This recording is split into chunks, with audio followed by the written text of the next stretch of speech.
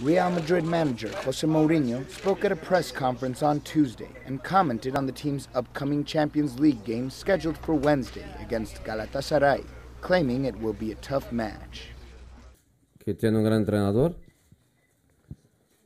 que tiene un entrenador con experiencia de, They have a great manager with a lot of experience in these kinds of games. de este nivel. He feels que se siente comfortable competing at this level, and he'll organize his team to um, defend, work hard, and get the best result they can. organizará su equipo The center of attention, though, was once again his relationship with team captain Iker Casillas, who wasn't included in the squad even though he had received medical clearance to play after a long injury.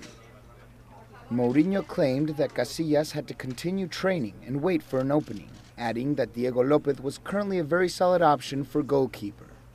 With a full squad in top shape, uh, Mourinho will look to meet the club's objectives for the season que es lo through good results, which he claims are his top priority.